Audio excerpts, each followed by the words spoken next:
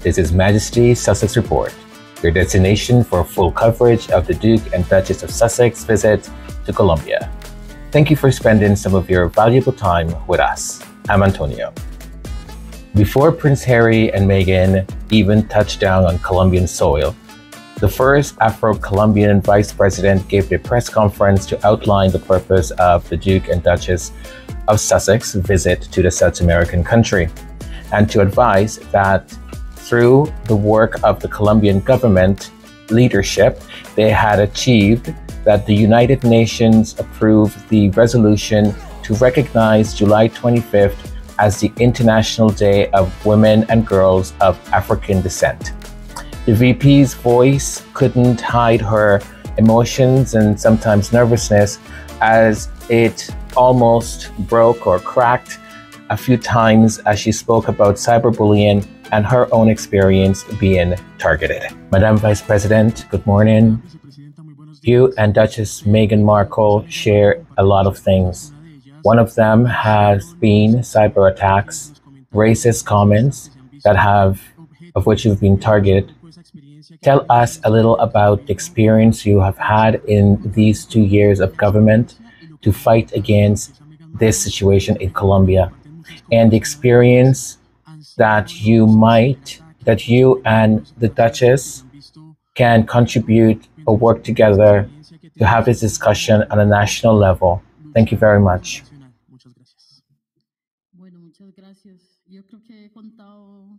Well, thank you very much. I think I told a story of racism and racial discrimination and what it is like as a child and have been aware of it all my life.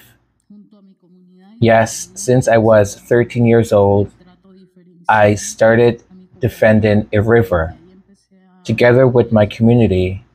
And from there, I began to feel the differential treatment of my community.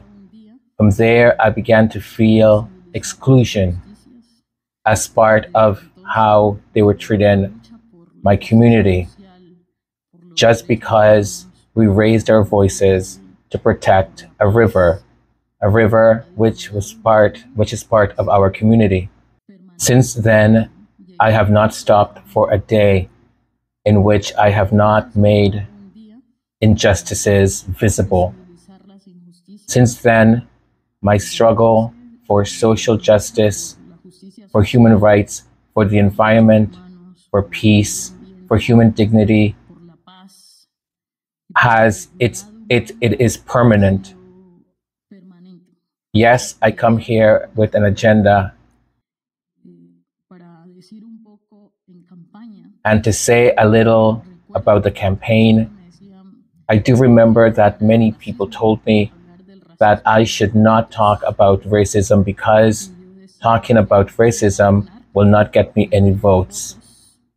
And I said, how could I not? And to obtain votes, I would have to then silence myself and silence about the problem that affects our society, that without any doubt, it has affected my family, my community, we bear the scars of racism on our flesh. I could not not talk about it.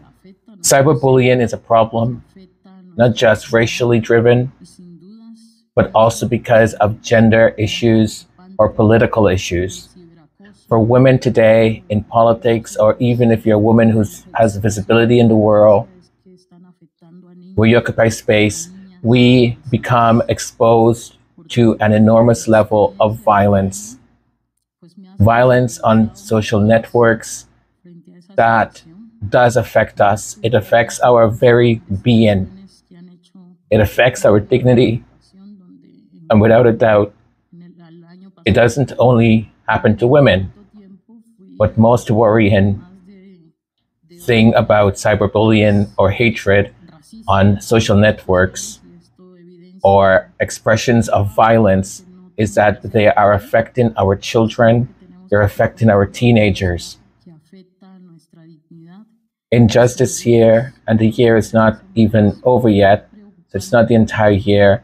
I've become even more sensitive to this issue, faced with this face to face. I have seen the reports, even the investigations that have been done. Some have been done by the media, where in just this year, and the year has not ended yet, medios de comunicación donde en, en un, en el, el año pasado, en un corto tiempo, fui víctima de más de, de 12 ataques racistas. I've been the victim of over 12,000 attacks of hatred, sino que tenemos que racial, como sociedad, como um, uh, uh, racism on social networks. I'm not doing this just because of my experience. It's not about my experience, but we have to do something about it. We have to do something about it in society, as a country, as humanity. Thank you very much.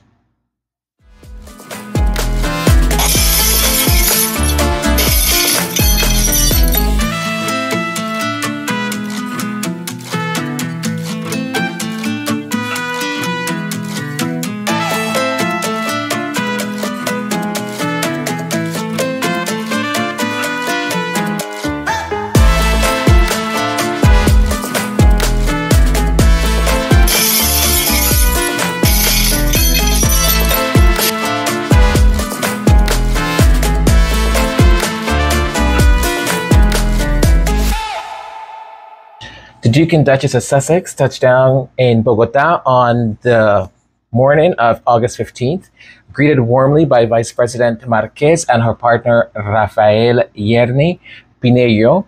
The greeting was more than just a ceremonial kind of greeting, it was a heartfelt connection between, I guess, like minded leaders. Um, during their initial meeting, which included traditional Colombian coffee and tea and pan de, ba- mm, pan de bono, mam, mam, mam, mam, mam, yum, yum. Um, the, sorry. The vice president expressed her admiration for Princess Diana, Harry's late mother, and shared how Princess Diana had um, plans to visit Colombia before her untimely passing. Marquez noted how Prince Harry's presence in the country felt as if it were a continuation of that dream, offering an opportunity to showcase the resilience and warmth of the Colombian people. The meeting set the tone for the rest of the Sussexes um, for visit, where they would engage deeply with Colombian culture, youth, and social issues. The first official engagement of the day took place at Colegio Cultura Popular, a charter school in Bogota. Prince Harry and Meghan, accompanied by the Vice President Marquez and her partner, were greeted by the school's headmaster, Leonel Umaña Parra, and a student named Jose David.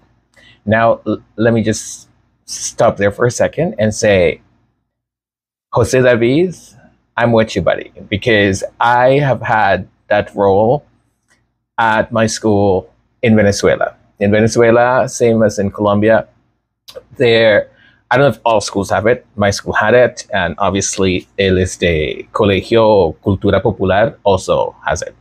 The we were called back then ambassadors of the school, so you would have to be a student who you know you got good grades and you were in good standing and stuff like that. So a nerd.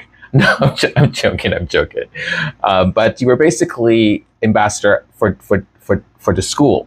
So if there were any special guests, if there was people coming from the government, if there were people who were guests from the from another country like the U.S. or something, you would be called upon to um, give a tour of the school.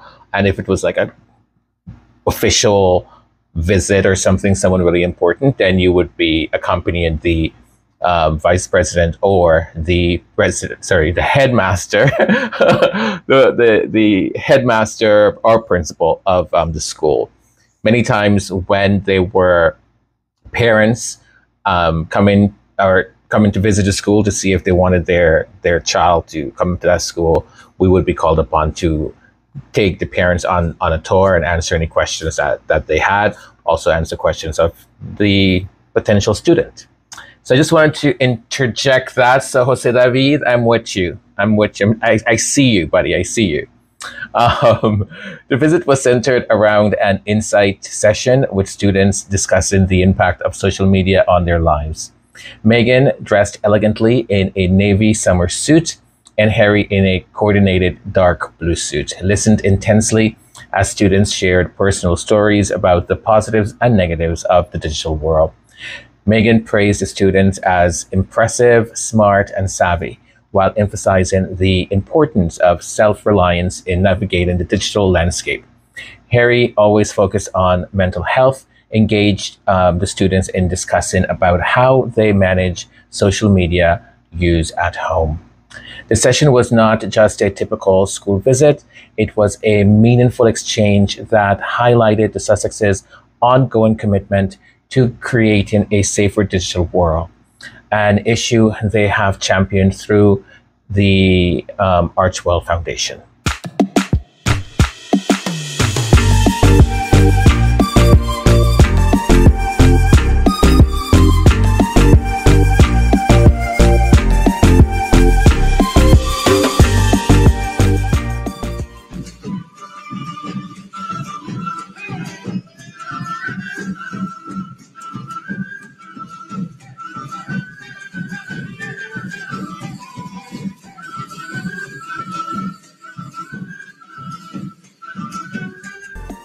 After their time at the school, the Duke and Duchess of Sussex, along with their hosts, traveled to San Juan de Pasto, where they immersed themselves in Colombia's vibrant culture. The couple attended a lively theater performance and were treated to a musical and dance display at the Plaza del Carnaval y la Cultura. The event was a celebration of Colombia's rich um, heritage and culture and it was clear to me, anyways, that the Duke and Duchess of Sussex were having fun. Um, Meghan, who changed into a colorful Navajo weaver dress by Colombian designer Johanna Ortiz, and Harry, who also swapped outfits. Of course, the guy has to be fashionable too. Um, took in the sights and sounds with a genuine enthusiasm. Now, the the um, the the piece itself, uh, the cultural piece, is called um, Beso del Col- Colibri. That translates to the hummingbird kiss. And the hummingbird kiss is an interdisciplinary artistic experience that integrates elements of the living arts to create a ritual of connection and harmonization. This work is inspired by the ancestral tradition of the Amerindian people and is enriched by the songs of Gloria Uribe Sierra, a maternal figure who symbolizes harmony and balance. Through the hummingbird dance and solar um, and solar um, symbolism, the relationship with the cosmos is explored, honoring the sun and marking the change of the um, change of the seasons and cycles. In, in addition, the hummingbird is presented not only as a tribute or uh, um, tribute of the, of the solar, um, but also as a war deity, um, but also as as the means or the channel between the divine and the human. It underscores the role as a sacred messenger. Um, so this this work stands out um, for its cultural depth and it's focused on the secretness of communication between us beings and um, God uh, or gods. Uh, so it's it's it's it's a very interesting piece. It's beautifully done, um, and the way with the costumes and everything, it's just you know it, you can be easily immersed into into it. And now I'm going to just give my rant for for a minute or two if, if you you know allow me to i got so angry so angry after i have watched some people's um, uh, comments at the live broadcast when it was being broadcast when I've heard other people talking about this on other channels or whatever. If you don't know something about a person's culture, shut the F up. Just shut the F up. That's all I want to say to you. People are so disgusting. Humanity and these ignorant a-holes. Someone wrote in one of the comments, oh, that looks like a circus. Oh, is it a circus? If you don't know what it is, shut up. Or perhaps the right thing to say might be that looks quite interesting. I wish we knew what was the history behind it, or I would love to know what's the story it's telling. Or what, what is it? But making assumptions about people's cultures and things that they hold sacred to them pisses me off. Because so many of you, and I'm speaking of, of, of, of, of everyone, no one wants anyone to come to their culture or to look at certain symbolisms or things that one is traditional and one has of one's culture and people make fun of it or people start to say it looks like a circus or it's like clowns or any of this nonsense. Right? Like there's a certain amount of respect that you should have.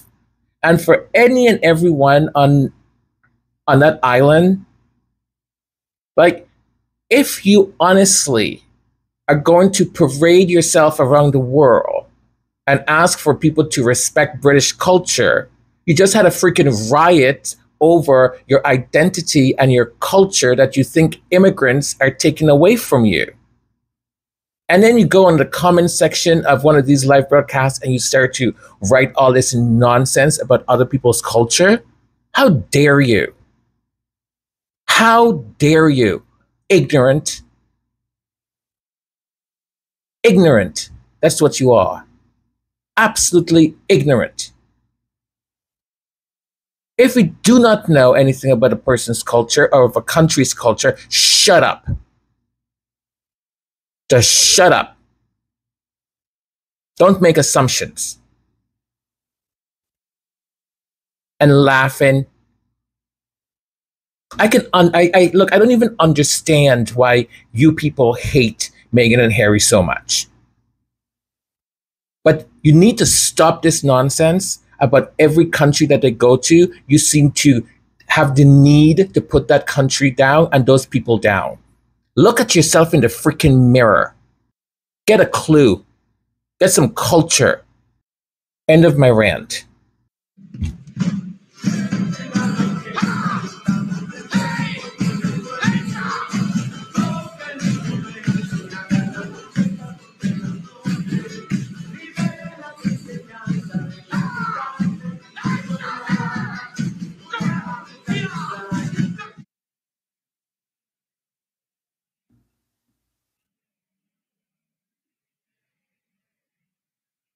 Thank you. A very special greeting to the Dukes, Prince Harry and Duchess Meghan of Sussex, and to the Archewell Foundation and all of the collaborators and staff members that are here. Special greetings to our Minister of Culture, Arts, and Knowledge, Juan David Correa Ulloa. Special greetings to the Director of the National Center for the Arts, Delia Zapata, Xiomara Valencia. To the students, children, and young people, the teachers from the Delia Zapata Olivella National Arts Center and the Candelaria Integrated School. Greetings to every uh, media that is here. It's a pleasure and an honor to welcome to our country Prince Harry and Meghan, the Duke and the Duchess of Sussex. Their first visit to a country in Latin America. It starts today in Bogota, a capital of more than 10 million inhabitants, which is recognized as the meeting point for all regions of Colombia. I am very happy to have you here at the center of Delia Zapata National Center for the Arts, that by name it honors an Afro descendant woman that has left us a very important legacy. One that is to develop an extensive work promoting the folklore from the scene in Colombia to the world. Together with her brother, Manuel Zapata Olivella,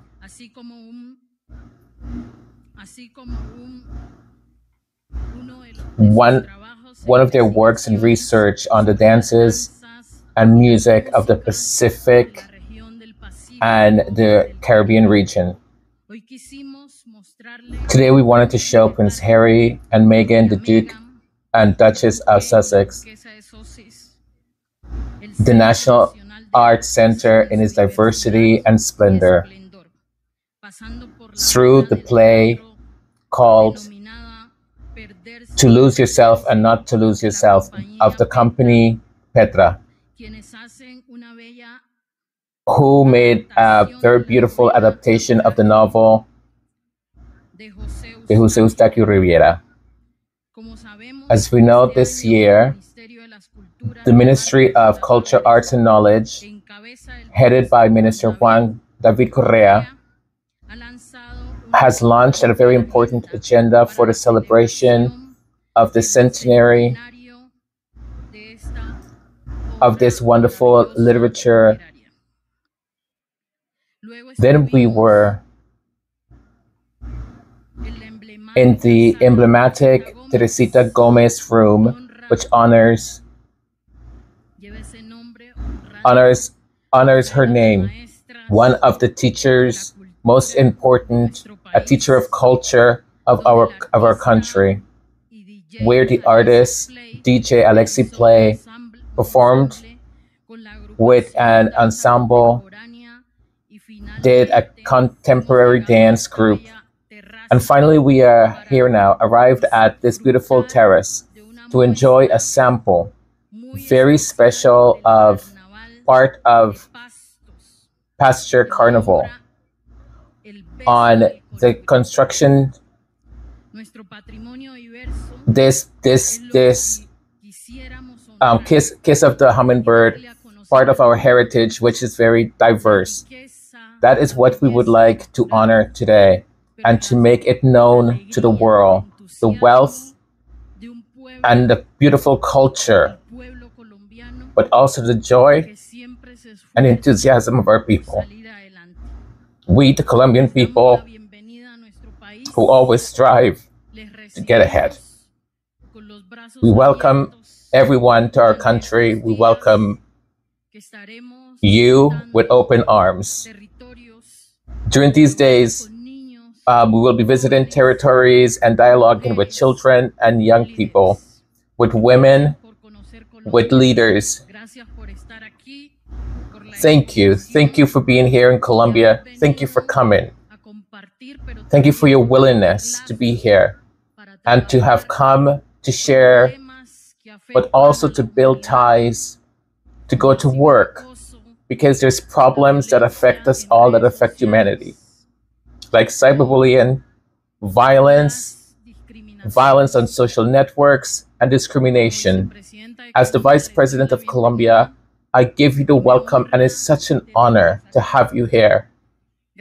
Thank you. Thank you to all of you. Thank you to all the media that has showed up. Thank you for being present.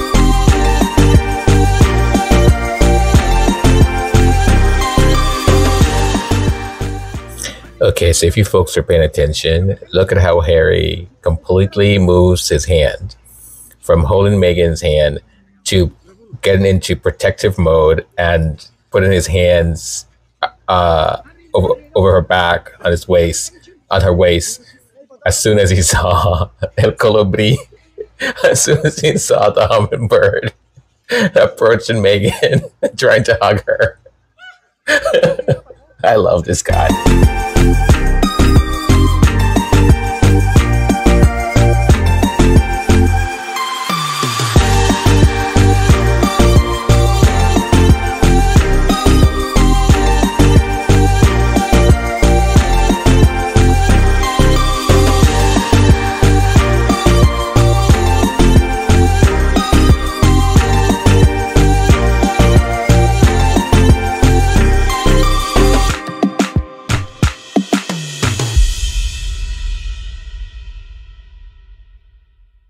One of the key focuses of the Sussex's visit was their participation in the Responsible Digital Future Conference.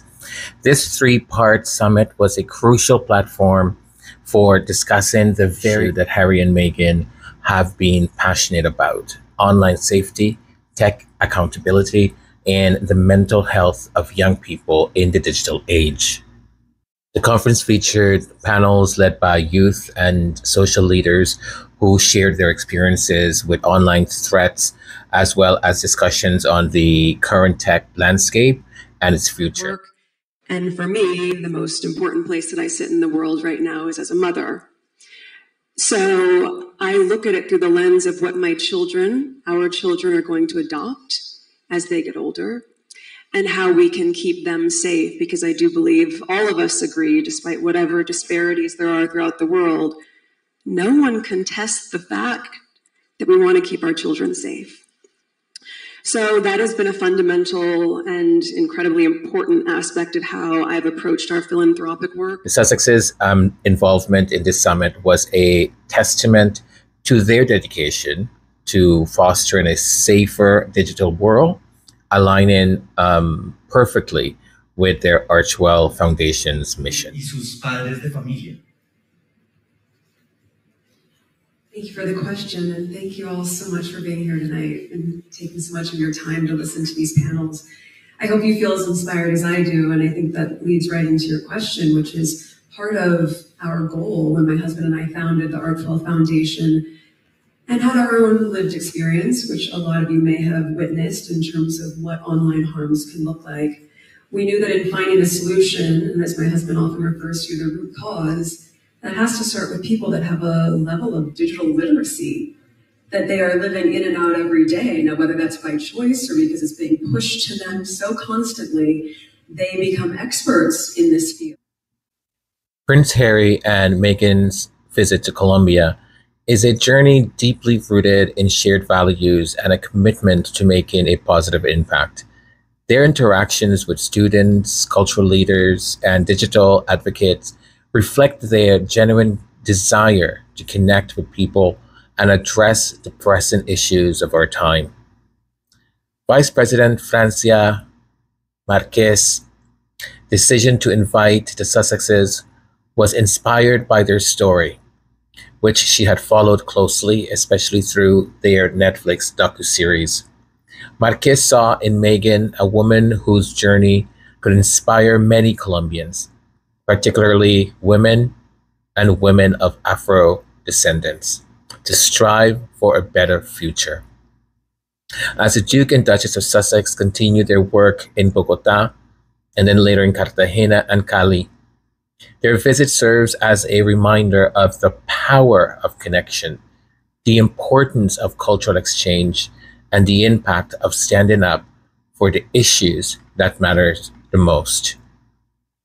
This trip preceded the inaugural Global Ministerial Conference on Ending Violence Against Children in Colombia. That will be Colombia, set to take place in November. Has not only strengthened the bonds between the Sussexes and Colombia, but also highlighted the shared goals of promoting safety, equality, and empowerment for all. The Duke and Duchess of Sussex visit to Colombia was marked by meaningful interactions, cultural appreciation, and a steadfast commitment to creating positive change.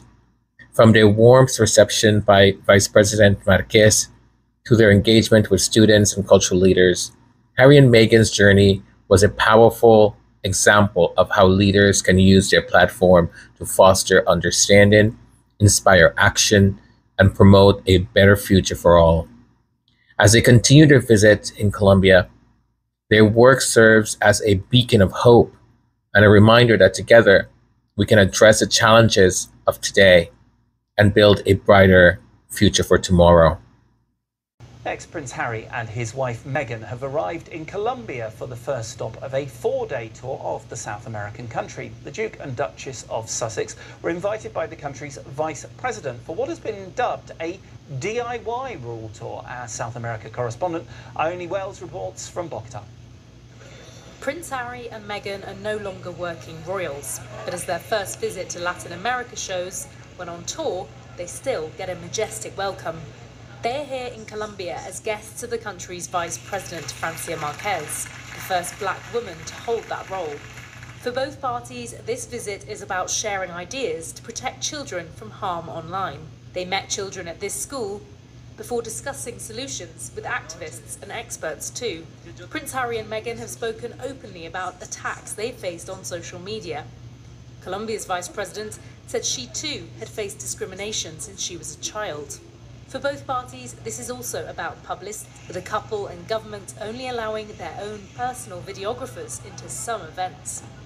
Prince Harry and Meghan hope to promote their campaigns to make the internet a safer place and maintain their influence and visibility on the world stage. They still attract meetings with global leaders. For the government here, it's publicity too ahead of elections next year. The Sussexes have year doing similar high profile events back in the UK after suffering threats online and no longer receiving the government funded security they did as working royals.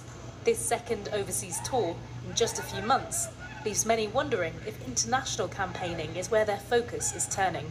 Ione Wells, BBC News in Bogota.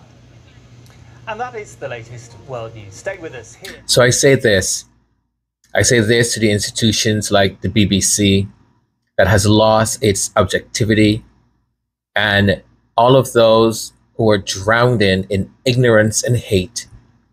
Please educate yourself before you make opinions and commentary on a nation. The Duke and Duchess of Sussex are not your definition of working royals. I understand that. They're not paid by the taxpayers in the UK. They don't take or receive one pence of taxpayer money. So stop. Please stop your dangerous campaign of hate and desire to put the life of the Sussexes in danger. It's none of your damn concern who is paying for their security or how much security they have. If the government of Colombia wants to pay for their, their security or this entire trip, that's the government of Colombia's concern, not yours.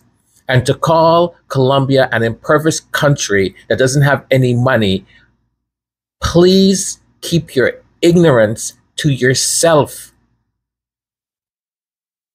It's none of your damn business what the government of Colombia decides to do, who it decides to pay for, what it decides to pay for, what kind of conference it decides to hold in its country, in its territory.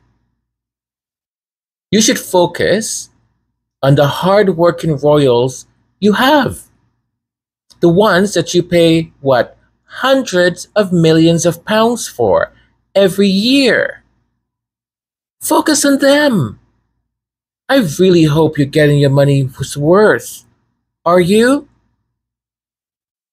And as for the publications that have indicated that there's going to be a summit in Balmoral to discuss whether or not to take away the titles of the Duke and Duchess of Sussex, don't you people have more pressing things to think about? Like maybe, I don't know, miraculously being cured from cancer or something like that?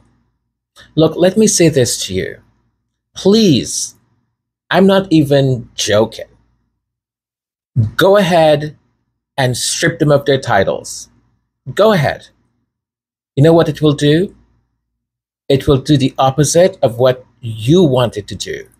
It, they will become even more famous, more popular, because the world will continue to see how petty you all are, how weak King Charles is, how ridiculous the monarchy is, and how pathetic you all are.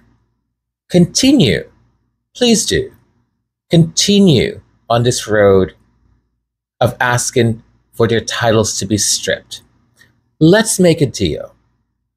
Take the titles, leave them alone. Don't ever write another article about them. Don't mention them ever again. Ever. Let them do their thing. Let the rest of the world enjoy their work. Let the rest of us enjoy their philanthropy. Let the rest of us get educated with the things that they're interested in so we can have a better world.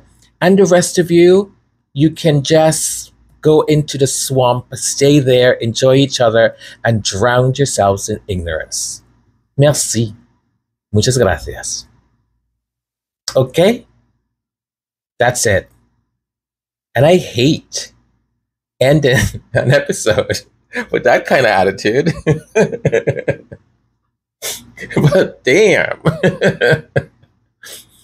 These people are irritated. Gosh, they make no sense whatsoever. But for the rest of you who have stayed until the very end, thank you so very much for being here. Thank you. And stay tuned as I will do the same thing um, as I coverage as I cover the um, visit to Colombia. So today, whatever I can um, get out to you as soon as possible, I will. But the following day, you'll always get sort of a summary of everything of the day prior. So here we go. Hope you enjoyed day one, and here comes day two. Bye for now. Take care, everyone. Primer día en Colombia de Harry y Meghan. Los duques de Sussex tendrán agenda no solo en Bogotá, Andrea, el fin de semana también visitarán Cartagena y estarán en mi ciudad, en Cali, en el Festival de Petróleo. Que no se lo van a perder. Hoy hablaron con estudiantes con quienes compartieron mensajes sobre la importancia de eliminar el ciberacoso y de hacer también buen uso de las redes sociales. Colombia se convierte en el primer país de América Latina en ser visitado por el príncipe Harry y Meghan, duques de Sussex. Luego del recibimiento que les hizo la vicepresidenta Francia Márquez, arrancó la agenda de la pareja en un colegio de la localidad de Puente Aranda, en Bogotá, donde intercambiaron experiencias que hoy marcan la agenda global, las redes sociales cómo estas buscan conseguir un objetivo en los niños para intentar buscar visitas fáciles de alguna forma embobándolos. Dentro de los propósitos de esta visita está el de propiciar entornos digitales seguros y apoyar iniciativas de salud mental.